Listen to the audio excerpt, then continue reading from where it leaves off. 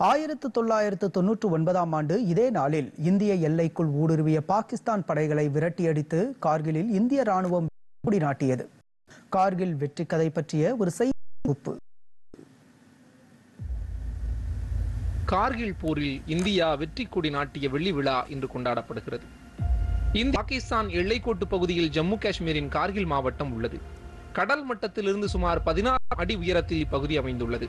கார்கில் என்பது சமவெளி பகுதியில் நடைபெற்ற சாதாரண அல்ல. கடும் குளிரில் பனிச்சிகரங்களில் மலை முகடுகளில் நடைபெற்ற மிக கடுமையான ஒரு போராகும். இந்திய வீரர்கள் பல யுக்திகளை பயன்படுத்தி போர் புரிந்தனர்.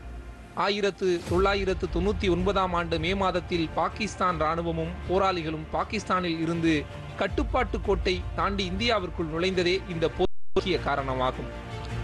இந்திய வான்படையின் துணையோடு இந்திய ராணுவம் பாகிஸ்தான் ராணுவத்தால் ஆக்கிரமிக்கப்பட்ட இந்திய பகுதிகளை மீட்டது. கார்கில் நகரில் அருகில் உள்ள டைகர் மலையில் இந்த போர் நடந்தது. கார்கிலை மீட்க இந்திய அரசு மேற்கொண்ட நடவடிக்கையான ஆபரேஷன் விஜய் என்ற பெயரிலும் இது வழங்கப்படுகிறது. மே மாதம் தொடங்கி மூன்று மாதங்கள் நடைபெற்ற இந்த போரில் ஆயிரத்து தொள்ளாயிரத்தி தொண்ணூத்தி ஒன்பதாம் ஆண்டு ஜூலை இருபத்தி ஆறு இதே நாளில் இந்தியா வெற்றி பெற்றது.